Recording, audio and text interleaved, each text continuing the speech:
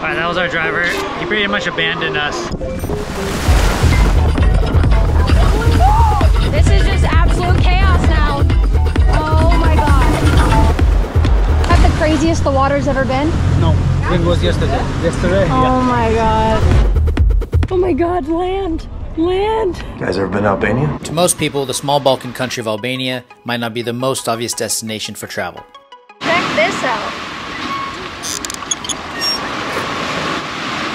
Its more popular neighbors like Croatia, Montenegro, and Greece seem to get most of the limelight. While they share the same Adriatic waters as these neighbors, we're eager to find out whether they keep their beaches and cities as well maintained and their infrastructure and navigation up to par compared to their bordering nations that receive far more tourists. They must have a decent infrastructure for that here. Total construction. There's a lot of trash. This dock is a little dodgy. Half of it just went underwater. Eh? Eh? Albania's bad reputation as a crime-ridden nation is hard to shake. Over the past decade, Albanian crime groups have overtaken all rivals to become some of the most crucial players in global drug trafficking. Today, the communist dictatorship will still considered one of the most repressive and bloodiest regimes of contemporary history. Ruled for 40 years by a wicked and paranoid dictator, Enver Hoxha, it's had a very dramatic past to say the least. Traces of this dark period can be found everywhere. The representation in Hollywood films hasn't helped either. We're shipping a large quantity of ammunition from Albania to Afghanistan. This brutal authoritarian communist regime lasted almost 40 years and closed off Albania from the rest of the world. Literally nobody was allowed to leave, and no one internally trusted each other. So just imagine the level of paranoia and fear in people's hearts. Thousands of microphones were hidden across the country in order to detect any activity viewed as unlawful. But ever since the fall of communism and death of Enver Hoxha, Albania has been actively rebuilding and innovating itself, from new big city developments, even down to our small Airbnb in Tirana. But it looks like we've made it to Middle Earth, yo. What? Welcome to the Shire.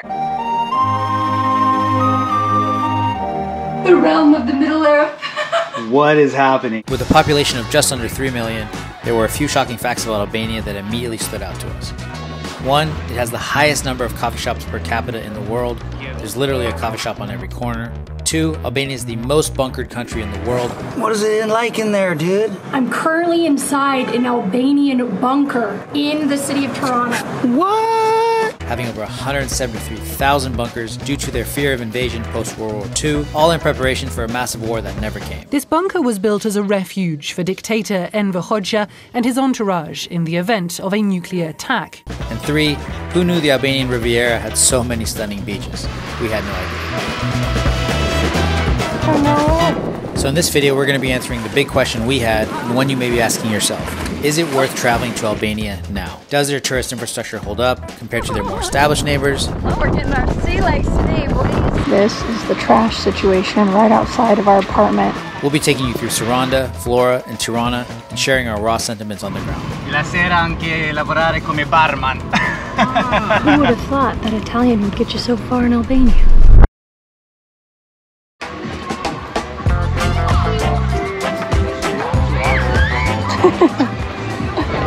Yeah, buddy.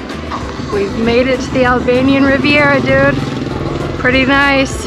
Before coming to Albania, I didn't really know much about it. I still don't, I guess. We're learning. We just got here. But I would say it wasn't known as like the safest place to come and be. I will look for you. I will find you. And I will kill you. So I think the tourism wasn't super high. Well, in the last five to 10 years, that's changed, you know? Good old Instagram, these great reels and TikToks that you see that are just making this place look like pristine. Seriously, what is this place? This is heaven. We're excited to kind of see what it's about, especially coming from Corfu, Greece. It's very similar waters. And it's literally a 30 minute ferry ride away. Wait, no way. This is what we're about to get on? Looks more like a submarine than it does a boat.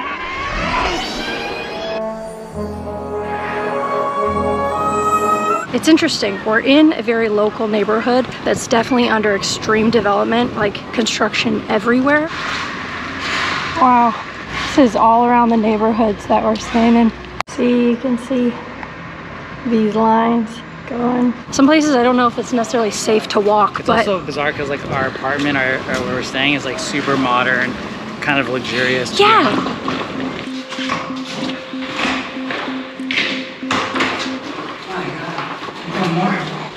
Yay. Oh my god, we made it. Are you dying? This is luxury. Nice and modern. Oh wow. For working. Big TV. Yeah. Nice bathroom. Yeah, bedroom's nice. It's a place for sure that you can come and have maybe a an affordable vacation. We're in a really good location though. We're right down the street from this. Took us literally two minutes to walk here. And we have a great gym. You found us a great gym, Nathan. that like has this ocean view. And again, I think we're paying like 12 or 14 euros for a week pass, which is like unheard of so far on our trip this year. That's like the cheapest membership we've paid for. We have a great little coffee shop down the street called Magic Blue. They actually, nobody here really makes flat whites, but if you ask for a double cappuccino, it's pretty damn close. And we have a spa near us, so I think we're really well situated. But look, you can see this little like cement staircase that these kids are jumping off of. And again, we're back to stone beaches, which I actually have been loving because sand just gets in all the crevices. You know you get dirtier. All right, so we've been going hard on the Albanian food. Damn, is it delicious.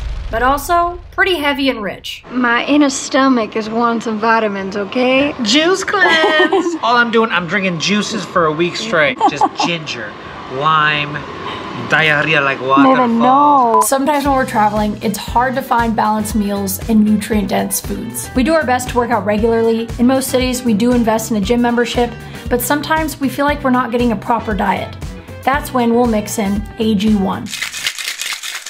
AG1 is a daily foundational nutrition supplement that supports whole body health. I'll be honest, we're typically not supplement people. We're big on eating whole foods. But if we're moving a lot, which is all the time, and we need extra help, we love this stuff. It's actually insane how many nutrient boxes this little bag of powder checks and how we feel after a week of taking it. The big factor that convinced us to try AG1 was how committed they are to the science and understanding how our bodies actually absorb these nutrients. AG1 is committed to sourcing high quality ingredients and continuously optimizing their formula, which they've already done over 52 times since 2010. And hey, if Tim Ferriss and Andrew Huberman give their stamp of approval, that's a pretty legit endorsement. So if you want to try out AG1, click the link in our description below and you'll get a free one-year supply of AG vitamin D3 K2 plus 5 AG1 travel packs with your first purchase of AG1.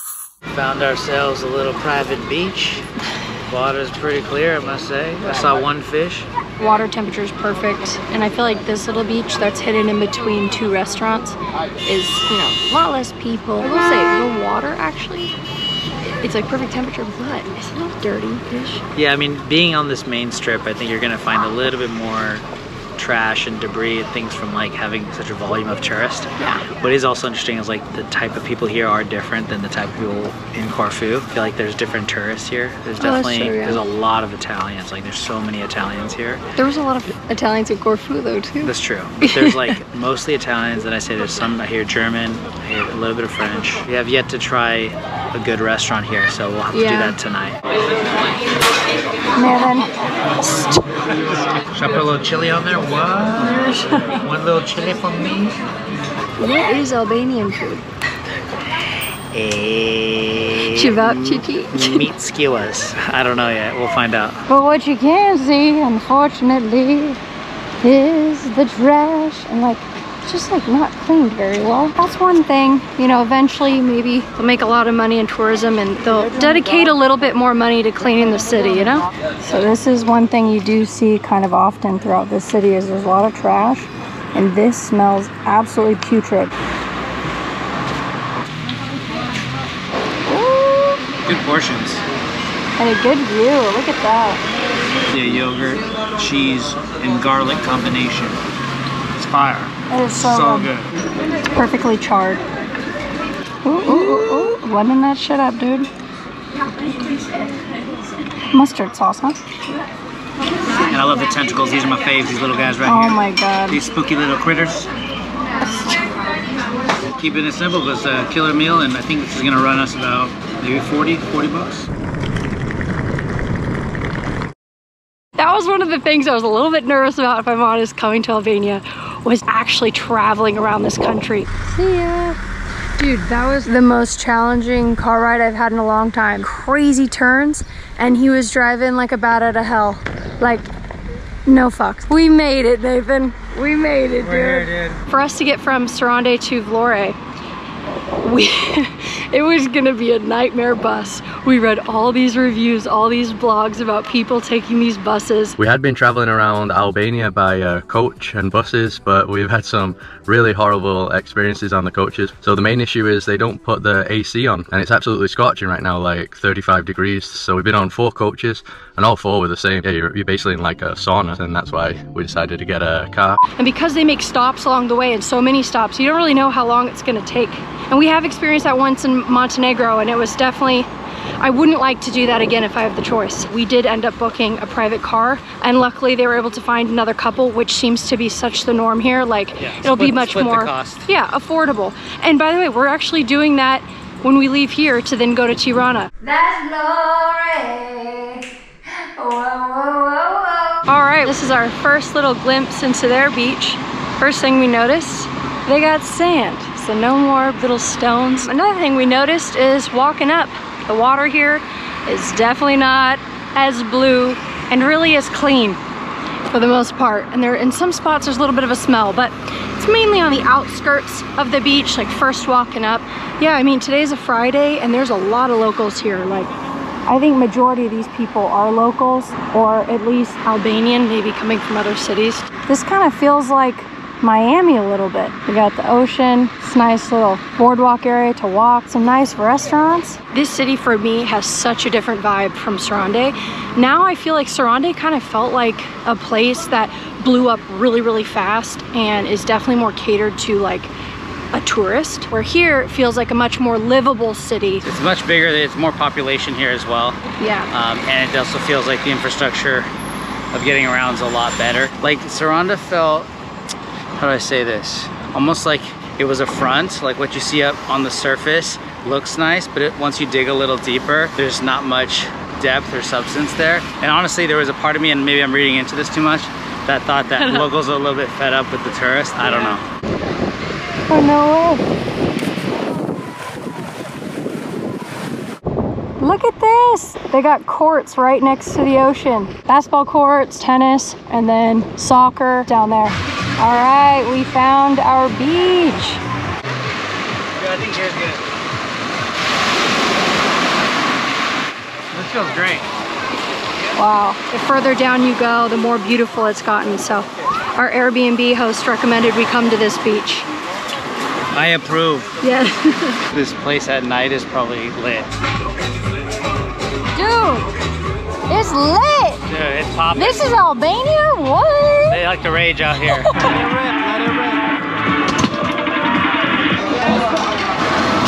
Pretty much every summer, every year, they do these fairs. You got the Ferris wheel, you got the, the ship that goes back and forth, and they be screaming like crazy, these Albanians. Looks fun. This is the trash situation right outside of our apartment. Just wild. And it stinks. A major reason we came to Albania was to enjoy the water and to get a little more bang for our buck. Well, that's exactly what we got on this boat tour. What we thought would be the chillest, most relaxing day. The water today is the flattest it's been, and it's so blue. Basically turned out to be one of the most insane we've had all year. All right, we're on our boat. This is so wild. It is so choppy out here. This boat company is the highest rated in Vlora. 40 euros for an all day trip on the beautiful blue water with free drinks and beer included. But the water conditions paired with the blasting house music? Is that the craziest the water's ever been? No, it was yesterday. Yeah, that sort of scared the shit out of me. We got unlucky with the waves, but we also weren't given a heads up. All of the boat companies were out in it. And actually, none of the passengers were told. I don't think any boat company in the US would have run on a day like this. Oh my god, we made it. That was a rough journey, my God. You don't have to worry about anything. Okay.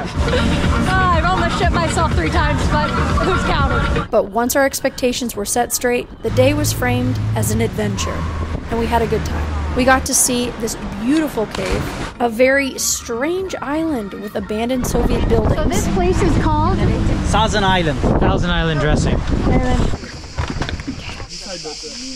No one cares to be like.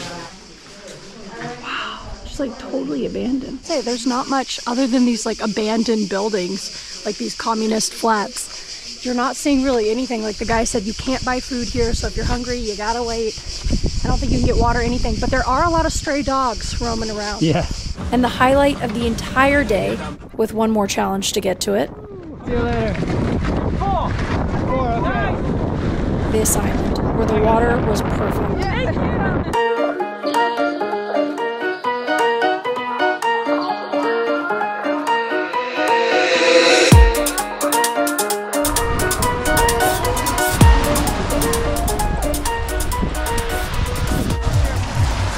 The pain. Go ahead. We survived! Yeah! I told you we were going to dance. Oh, we did dance on the waves. That is true. I didn't realize it, it came with the chiropractic adjustment. Good morning, Chi-Chi's. A Firenze per quasi due anni.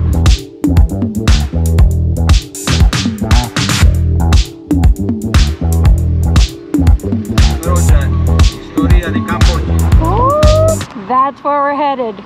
That back corner. We got a walking tour this morning. I love these walking tours. I just love learning about a city properly.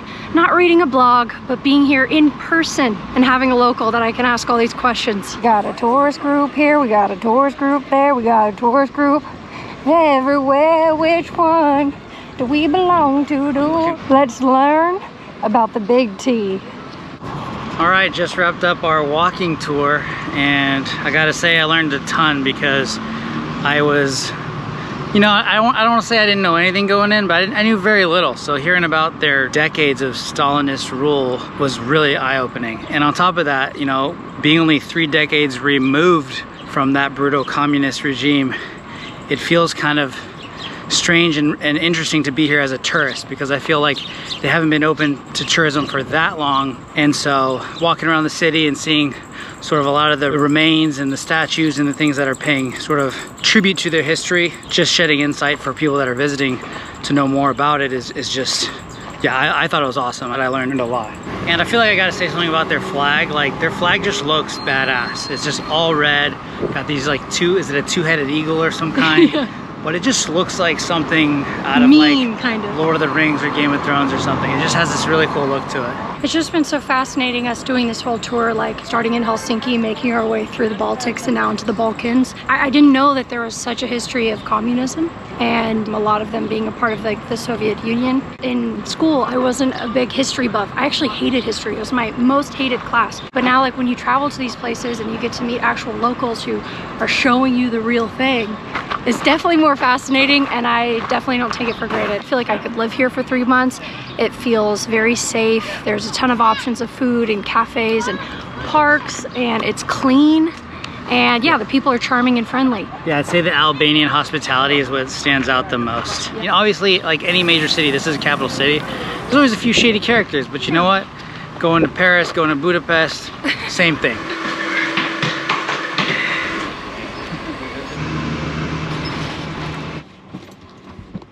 Where are we going this morning, Nathan?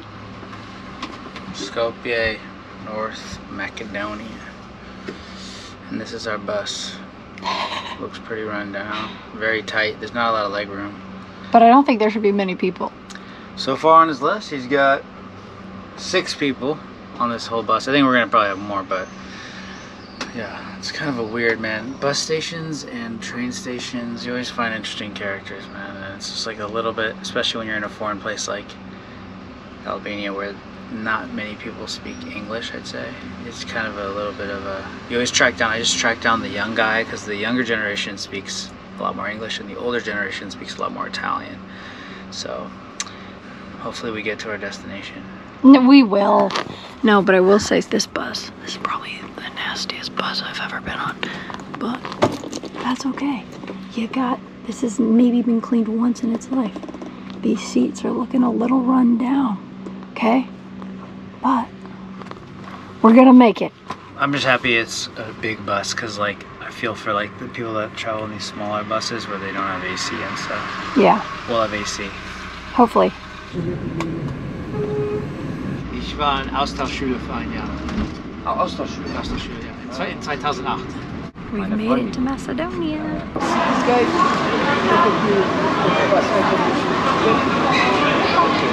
Bye. Alright, that was our driver. He pretty much abandoned us at a random other bus station about an hour away.